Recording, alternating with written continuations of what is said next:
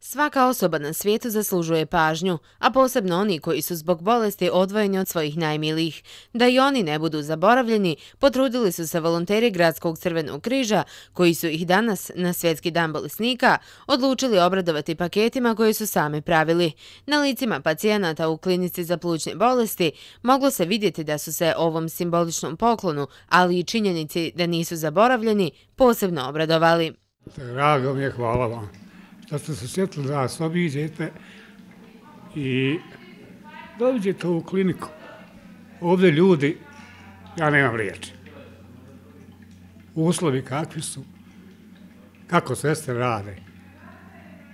Ja im dižem kapu. Hvala vam da ste zdravi i živi kako mi. Jeste. Pa da ima svega, ali opet je nije suvišno. Osim za pacijente koji borave u klinici za plućne bolesti, volonteri Crvenog križa grada Tuzla pakete su pripremili i za pacijente u klinici za psihijatrijske bolesti.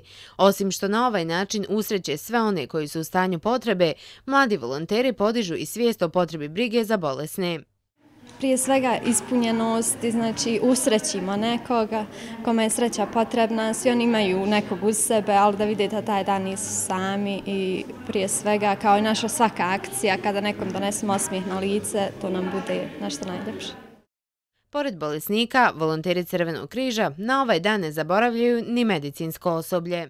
To je dan kada se treba posvetiti i svim bolesnicima koji su, nažalost, nisu oni krivi zato što su u takvom stanju, a također je da, ovaj, bitno spomenuti da se taj dan i treba posvetiti svima onima koji su posvetili svoj rad osobama brizi i njezi, znači o, o bolesnim osobama.